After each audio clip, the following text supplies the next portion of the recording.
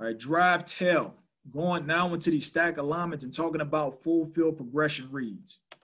All right, the combination switch releasing, point guys running what we call a take. Essentially, it's a, it's a post, right? And I'm talking about it's a post downfield shot. We know we love those post routes versus corners.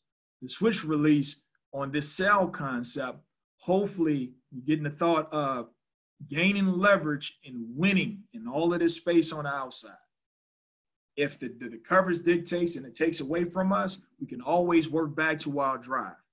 The drive concept was shallow, basic, and now going down to the back, who's creating this triangle. All right, creating that triangle.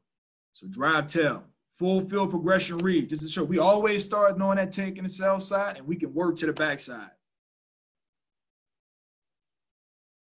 So just to see it, really good game for us. Had a high third down conversion rate. I think it was like six of the first eight third down we were six for eight.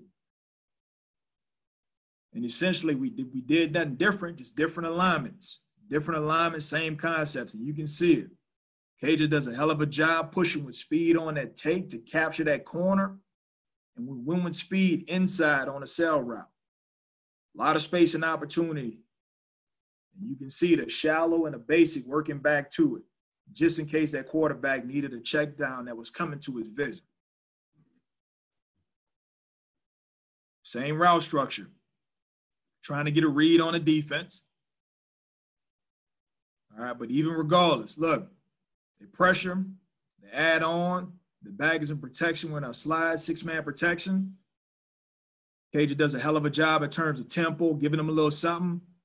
It's another opportunity to win with leverage in space. Off that two man concept with an opportunity to continue to work across the field. And look, if they're running zone, you get too high and it's a cloud corner. The good thing about it, hey, look, they eliminated. I can work, I can start working to the backside right now. Going shallow, basic, back down to the back. And anytime that back, right, cross keys, you know it, it causes a little causes a little conflict because you know a lot of times they're thinking he's number three on the opposite side, but when he cross keys in protection and comes across, sometimes they'll lose him. They'll lose him, and this is the case right here.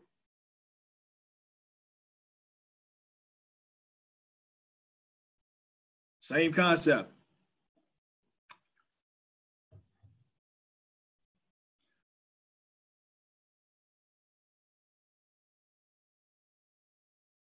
Now, if you notice different alignment, the tight end is off the ball.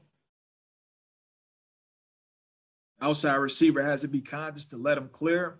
But look, we don't like that take and SL versus that look when that corner just hanging back trying to read for number two. And man, we're gonna work to that shallow basic in that back. All right, running that check burst.